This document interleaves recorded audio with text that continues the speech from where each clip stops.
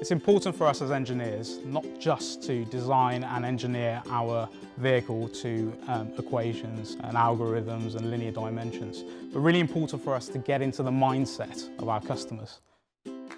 Sammy is my family dog, our golden retriever, and it was really important for us at Land Rover to design our vehicles with our dogs in mind.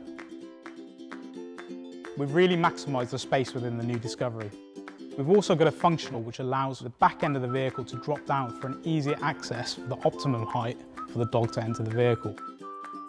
So we took Sammy and we created a, a, CAD virtual model of him and we used him to design and engineer the new boot space for the new Discovery. So Sammy will be really happy within the interior boot space of the new Discovery because he'll have the freedom to move around and really enjoy and be comfortable within his journey.